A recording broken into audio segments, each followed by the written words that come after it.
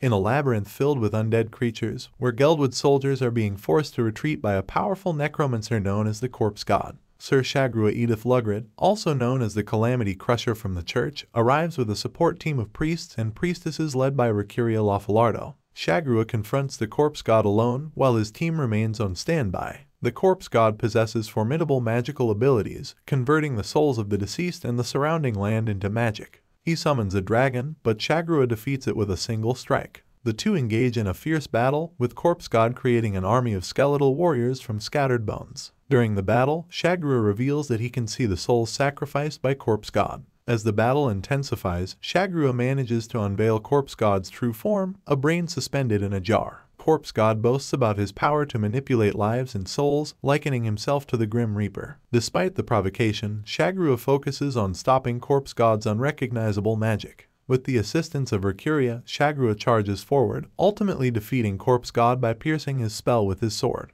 Before the Corpse God is going to die, he casts a spell, and then he reincarnates as a teenager named Polka Shinoyama, who awakens in a foreign and unfamiliar city with a severe neck wound. He struggles to communicate and navigate the unfamiliar surroundings, gradually regaining his language skills. He encounters police officers and is led away by Misaki Sakamiya. Misaki explains that she previously killed him and is determined to do so again. Polka recalls the past and the circumstances leading to his death. He manages to escape from Misaki but is pursued through the city. Polka enters an abandoned building where Misaki confronts him with a crowbar. Their confrontation escalates, and Polka's abilities as the corpse god become evident.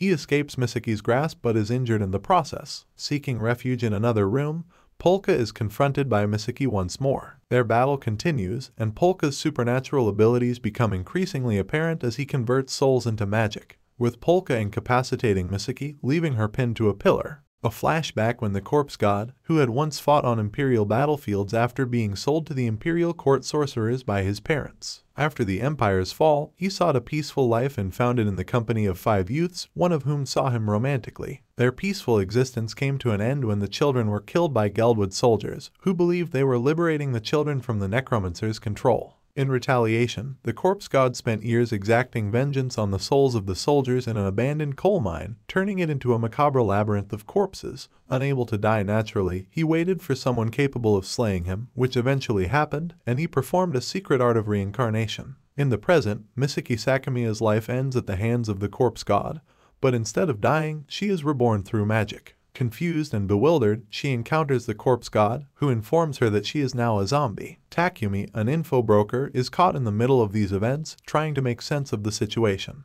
Clarissa, a mediator in Shinjuku, arrives with her team, aiming to avenge Misaki but finding their plans disrupted by the corpse god's actions. The corpse god helps save children from a building fire, demonstrating his power to manipulate souls and magic. The corpse god contemplates how he can achieve peace in a nation where children still suffer. Clarissa offers to assist Polka in adapting to life in Shinjuku and potentially using his powers to make money. Misaki and Takumi are assigned to help Polka adjust to his new life. Takumi and Misaki help Corpse God move into the torture building, which entails unpacking boxes of items courtesy of Lisa Kuraki, including stacks of books about Earth and setting up a computer for Takumi. Corpse God and Takumi discuss the former's cover story for Polka's family, Corpse God's speculation that his world and this world are somehow one world, and Corpse God's intent to investigate the client who commissioned Polka's murder since Lisa is sworn to secrecy. Takumi then learns that Polka's soul possesses the malfunctioning drone and is perturbed by how Corpse God treats souls as his toys.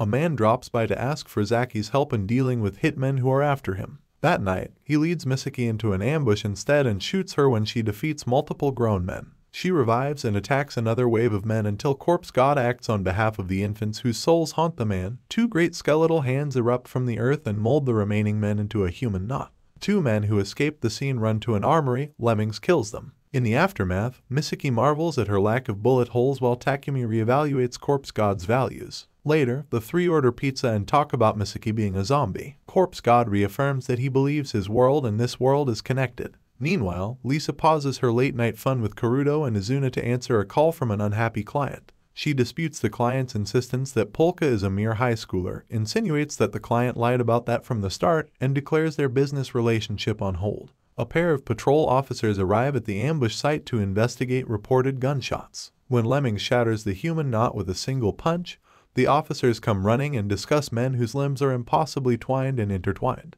In Yudaokoru's external stairwell, Kazaburo Ares begs the mercy of three bouncers for whom he can only offer a deep bow. Then he knocks the men senseless. Inside the bar, Tsubaki acts drunk in a bid to extract information from Yuri on the Shakuzawa building fire and Clarissa since he had come specifically to see her. He is told she has taken the late night shift, which is unusual, and he is all the more chagrined when duty calls, meaning he and Ares cannot wait until Clarissa's shift starts. Upon arriving at the human not seen with Ares, Iwanome admits that he was called with good reason. This sort of troublemaking is his team's specialty. Tsubaki of Comps 3 introduces various troublemakers to his team and explains that solving supernatural cases is their job. Three troublemakers are still at large, the Grim Reaper, Fire-Breathing Bug, and Lemmings. Fire-Breathing Bug is suspected of causing the Shakuzawa building fire, while Lemmings' footprints were found at a previous crime scene. Despite the supernatural appearances, these troublemakers are humans, and Comps 3 is determined to catch them. Meanwhile, Corpse God transfers Polka's soul into a stuffed shark toy,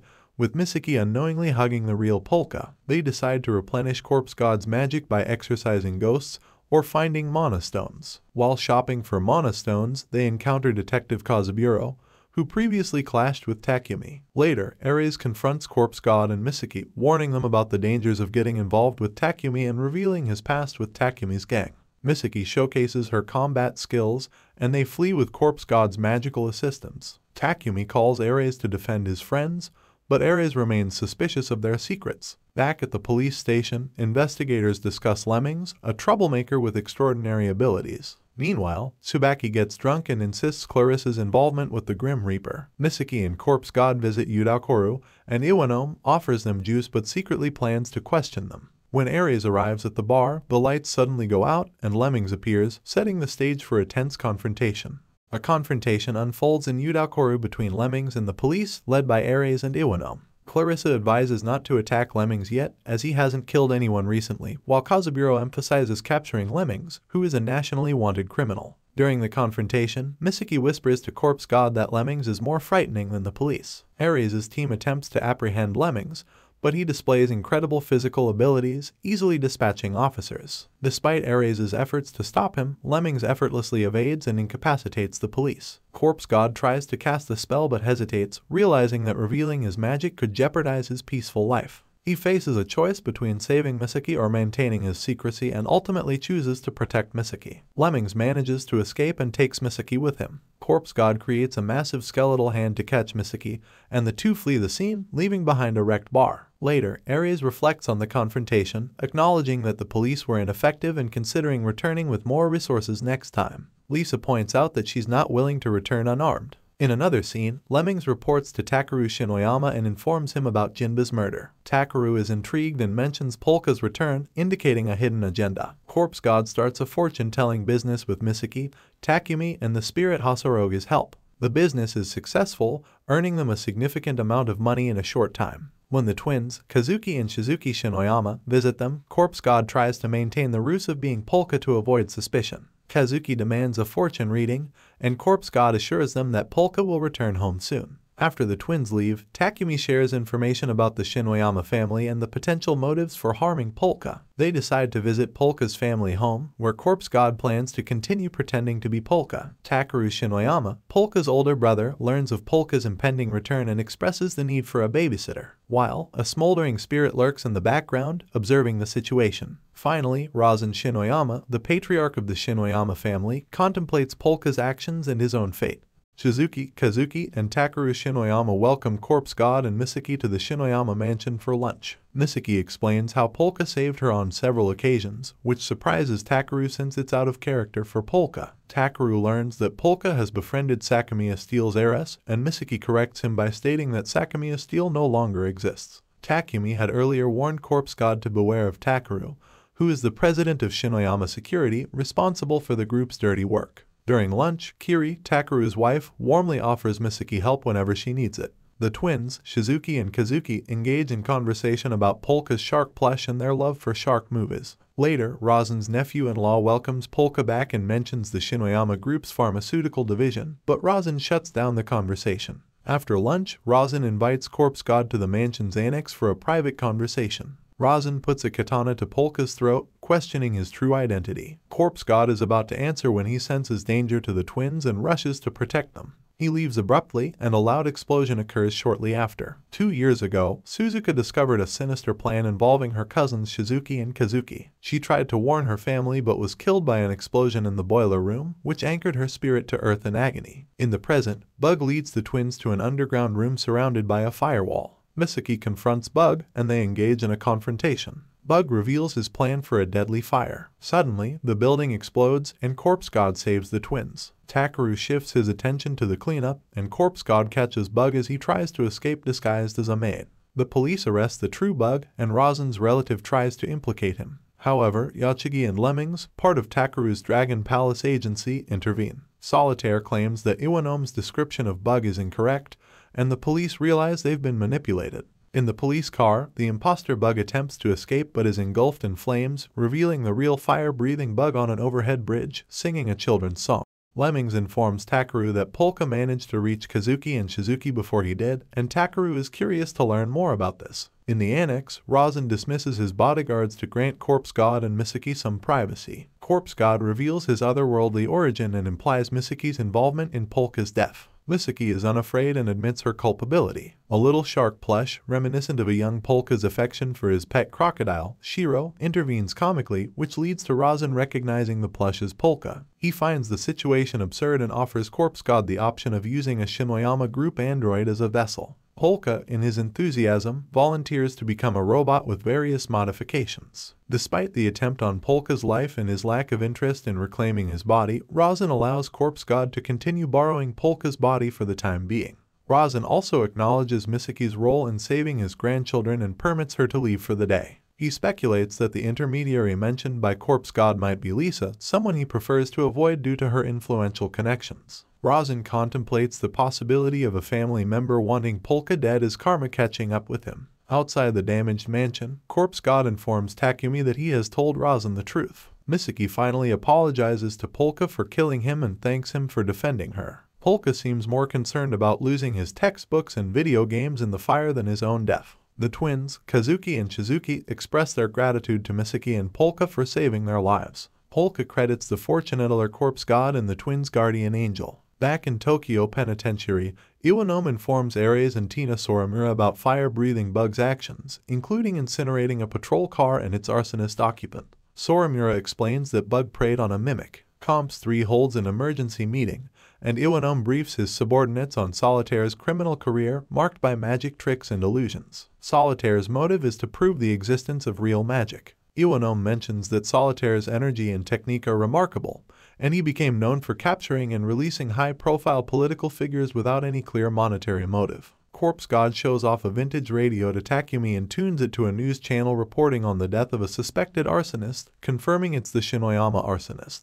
The news then shifts to a report about Tina Soramura. In the Shinjuku police station, they watch a news anchor who is reporting on Solitaire's prison breakout despite Iwanome's media muzzle. There's confusion as to how Solitaire managed to take over the airwaves. Seo, presenting herself as Polka's niece, introduces herself to Misaki and Takumi and brings along her attendant, Zaiou, who is supposedly a trainee butler. Misaki doesn't need an introduction as Seo remembers her from a previous encounter. Corpse God questions Seo about her arrival, and she cryptically mentions that her shark-themed bedroom was destroyed in a fire. This prompts Zaiou to play a video of Razan asking Polka to accommodate Seo, and Zaiou temporarily and provides a convenient reason to have additional security around, mainly Zaiou, whose presence Corpse God can detect. Corpse God wonders if Seo herself might be a Shinoyama with an ulterior motive. The next morning, Zaiou quickly starts cooking breakfast and explains that he was assigned to guard Seo due to their similar names. He also advises Polka not to visit the manor due to an ongoing police investigation. In the manor's front hall, the twins observe Iwanome questioning maids about the arsonist. Takeru, accompanied by bodyguards Taipei and Bao, approaches and discusses the recent events with the detectives. Iwanome mentions the fire-breathing bug as a suspect in the arson case. Takeru expresses his desire to see the bug captured to prevent further damage to Shinoyama Security's reputation and mentions the negative impact of Phantom Solitaire's actions on the company's stock price. Ares notes that Takeru's subordinates may be dangerous individuals. Iwanome instructs Ares to have Pop Tozawa and Yatsu on standby in case they need to deal with the Shinoyamas. He reveals that he has a lead in the form of a Shinoyama family photograph, identifying Polka Shinoyama as Razan's younger son. Takeru watches the detectives leave and contemplates Iwanome's integrity. Meanwhile, Zaiou listens in on Polka's conversation with Misaki and Takumi about handling the house guests and silently vows to expose the impostor. Takumi is hiding under his desk during his lunch break because Iwanome and Ares have paid him a visit. Iwanome wants Corpse God to tell his fortune, while Ares, being superstitious, follows Misaki into the divination room to observe the proceedings along with Seo and Zaiou. Corpse God informs Iwanome that he cannot divine the location of escaped convicts, but if he has precognitive abilities, Iwanome would consult him to prevent future murders. Corpse God clarifies that he can only trace past paths and the infinite paths in front of Iwanome. Seo and Zaiou privately doubt Polka's abilities, with Zaiou considering the possibility of reporting any suspicious behavior to the police. Corpse God starts the fortune-telling by alluding to Iwanome's specific police division and the information he knows Takumi can easily look up. Iwanome becomes more interested when Corpse God mentions the various arranged marriage candidates his family wants him to consider. Corpse God then alludes to a grievous scar in Iwanome's past, comparing it to a severed wing that continues to cripple him unless it remains unhealed. Iwanome asks how he might heal it, but is more interested in knowing if the person responsible for the scar has their own path. Hosorogi begins autonomously writing a message, shocking Iwanome. Zaiou speculates that Corpse God must have been practicing this magic trick. Iwanome reads the message and is visibly disturbed, immediately demanding to know what Corpse God knows. In a flashback, Miyabi Hosorogi tosses a pack of Marlboro cigarettes to Iwanome. Inside the cigarette pack, there is a folded piece of paper with a simplified symbol drawn on it. Iwanome studies and memorizes this symbol. After confirming that Iwanome has memorized the symbol, Hosorogi burns the paper and makes a grim declaration. He states that the symbol serves as the signpost they must follow and also as a one-way ticket to death. In the present, Corpse God refuses to explain why he drew the symbol on the paper given to Iwanome and advises him to follow his heart. Iwanome regains his composure after losing control of his emotions and hands money to Corpse God to cover the session and any damage to his outfit. Misaki informs Seo that the visitors are policemen, and Zaiou considers Iwanome's abnormal reaction. Afterward, Corpse God talks about the incident, and Takumi asks him about the message written by Hosorogi. At the Yudaokoru bar, Iwanome confronts Lisa about her involvement with Hosorogi and the message. Lisa denies knowing anything and claims she merely rented a building to Polka as a favor and to gain favor with the Shinoyama group. Later, Iwanome and Ares leave, and Lisa discusses the situation with her lovers. Zaiou decides to investigate Yudaokoru's staff. Corpse God explains that Hosorogi is an internal affairs inspector, and Takumi expresses skepticism about him being a proper inspector. Hosorogi demands 1 million yen to reveal what he wrote on the paper, revealing that the message involves one of his lingering regrets. Solitaire returns to Tokyo Penitentiary and purchases information about the symbol from the grocer, learning that it is similar but unrelated to an insignia used by an old Central Eastern European Knight Order. The morning of Solitaire's comeback performance, the group becomes aware of dirigibles invading Shinjuku's airspace, all sporting the simplified symbol. Corpse God recognizes the symbol as the emblem of the fallen empire from which he hails, leaving everyone stunned. There is a flashback to the imperial palace of the Baiandi Empire, where Easley's sword frail shows Corpse God the empire's emblem. The young emperor proudly explains that he redesigned the emblem. In the present, the symbol on the dirigibles in Shinjuku's airspace is identified as the emblem of Corpse God's fallen empire. Members of an organization discuss online the symbol's appearance and its potential consequences. They debate whether to hide it, claim it's attributed to a cult, or view it as a trap. Solitaire, who has been shot while broadcasting, discusses the symbol and offers a reward for information about it.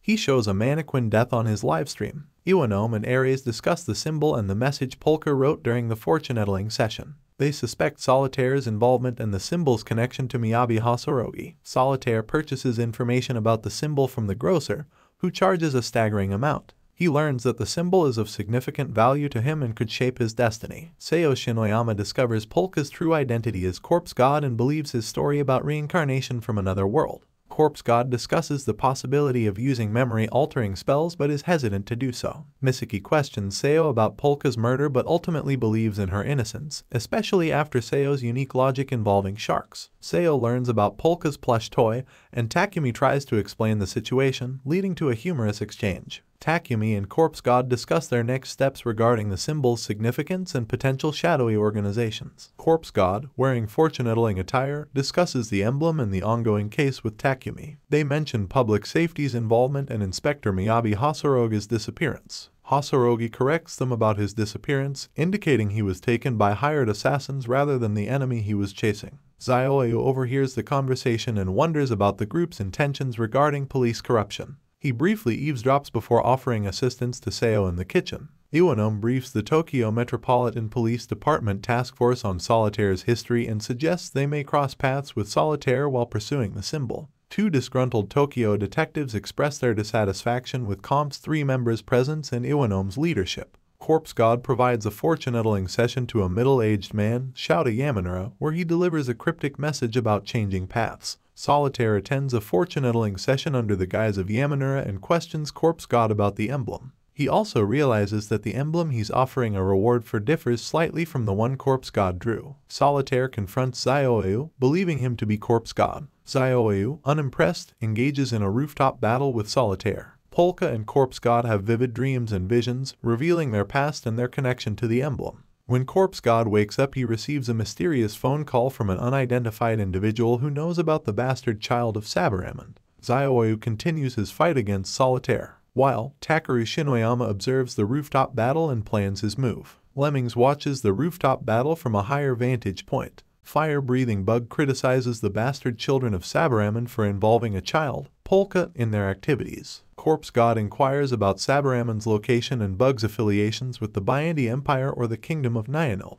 The Raincoat Bug wonders if Polka is pretending to be ignorant but believes otherwise when Polka confirms that he is the same as the bastard children, an enemy. Zaiou and Solitaire engage in a rooftop battle. Solitaire claims to be searching for Miyabi Hosorogi, but Zaiou questions his true intentions. Lemmings intervenes in the fight, and Zaiou questions the relationship between Solitaire and Lemmings. Solitaire implies a connection with Lemmings to avoid suspicion but worries about Lemmings' unpredictability. Raincoat Bug contacts the Shinjuku Community Safety Division, and Ranma Ryatsu and Danjo Tazawa investigate the situation. Corpse God senses the disturbances and expands his necromantic temple to locate the sources. In another world, Isla's sword flail reflects on her relationship with Corpse God and their unique mentor-pupil dynamic. The rooftop battle intensifies, and an unnatural chill sweeps over the area. Corpse God observes the ongoing fight and prepares to intervene discreetly. Solitaire deploys a smokescreen to escape, which attracts the attention of Yatsu and Tozawa. Corpse God manipulates invisible hands to capture the combatants. Solitaire escapes with the help of balloons and baffles Lemmings and Zaiou. Corpse God captures Raincoat Bug and realizes that she is connected to the emblem investigation.